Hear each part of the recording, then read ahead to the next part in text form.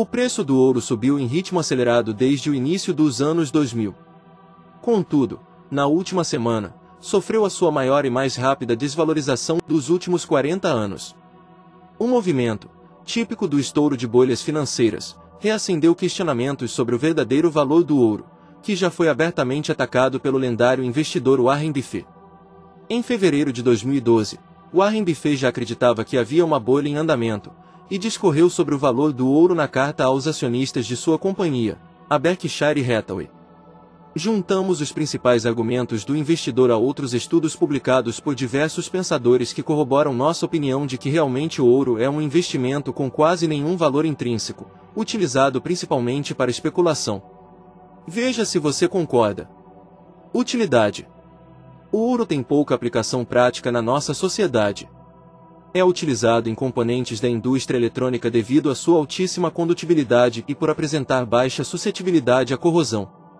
Também tem diversos usos medicinais, como enchimento de cavidades dentárias, por apresentar propriedades antissépticas.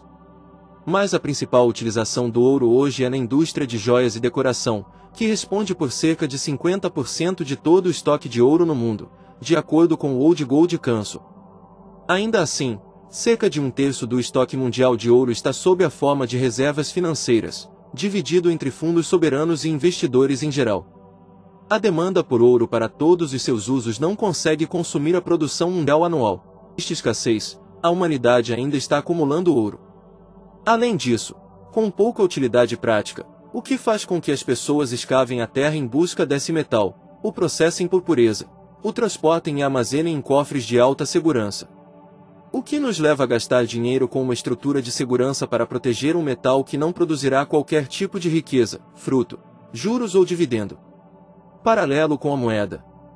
O papel moeda e as moedas de metal não possuem quase nenhum valor por si mesmos, pois os materiais de que são feitos não têm valor de comercialização.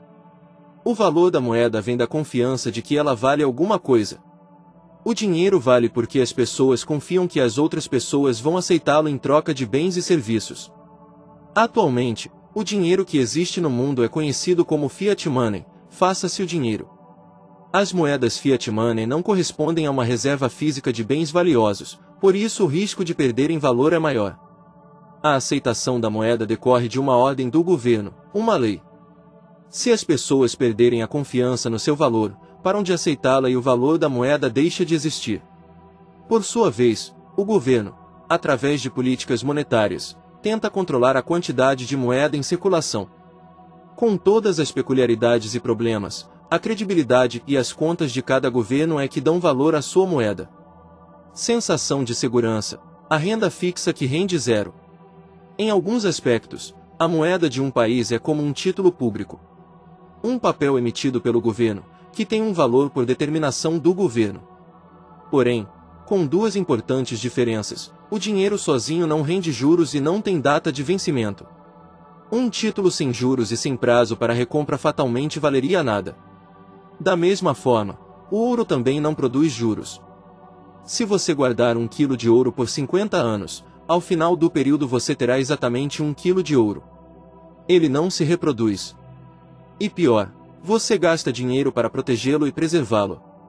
Por essa lógica, o ouro não deveria valer nada. Mas o ouro tem uma coisa que o dinheiro não tem: proteção contra o governo. Os governos podem emitir mais papel moeda, desvalorizando o que já existe, mas não pode emitir mais ouro. Por isso o ouro serviria como proteção contra políticas monetárias dos governos. É por isso que os investidores correm para o ouro em épocas de instabilidade, elevando seu valor. Onde está o problema? O ouro é comprado por investidores que acreditam que outros compradores, também cientes da improdutividade do ouro, vão aceitar pagar mais dinheiro pelo mesmo metal no futuro.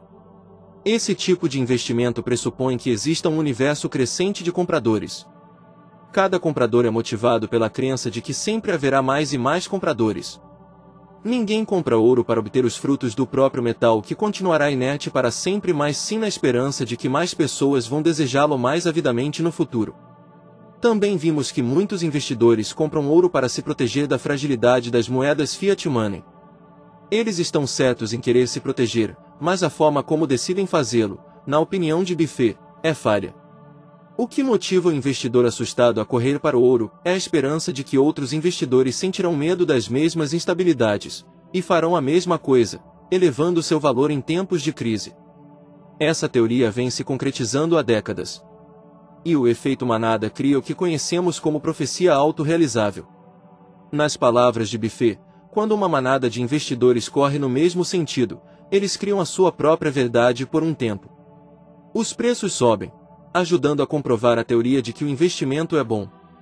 A notícia se espalha, o universo de compradores cresce, o preço sobe, o ciclo recomeça. Por fim, ele compara o desempenho do ouro com duas bolhas que estouraram nos últimos 15 anos. Empresas.com e imóveis residenciais nos Estados Unidos nos mostraram o efeito de combinar uma boa tese inicial com a ampla divulgação de preços ascendentes. A persistente subida de preços atraiu até os mais céticos investidores, que sucumbiram à sensação de estar perdendo uma grande oportunidade. No final, muitos investidores perderam fortunas com o derretimento de preços das empresas.com em 2000 e dos imóveis residenciais em 2008. É bolha. Especialistas divergem se o atual movimento de queda representa ou não um estouro de bolha. Não há consenso sequer sobre a existência de uma bolha de preços do ouro. Mesmo assim, é difícil combater os fortes argumentos de Warren Buffett.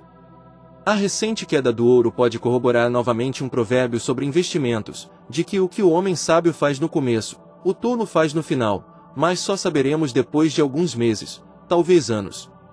A história nos ensina que certezas sobre bolhas só surgem depois que elas estouram.